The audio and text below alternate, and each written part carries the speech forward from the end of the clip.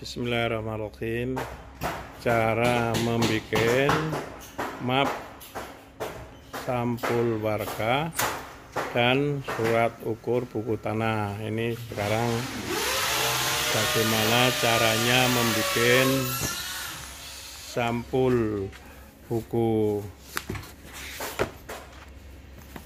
warkah ini sampul warkahnya untuk kantor BPN yang perlu dibikin di memakai mesin HF Hik profesional kami frekuensi nah ini.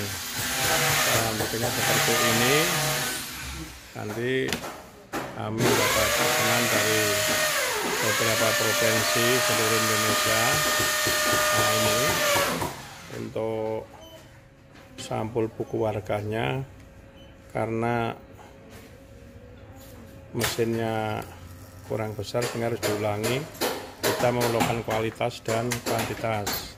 Nah ini adalah Bapak Marwan yang bikin. Ya untuk membuat sampul warga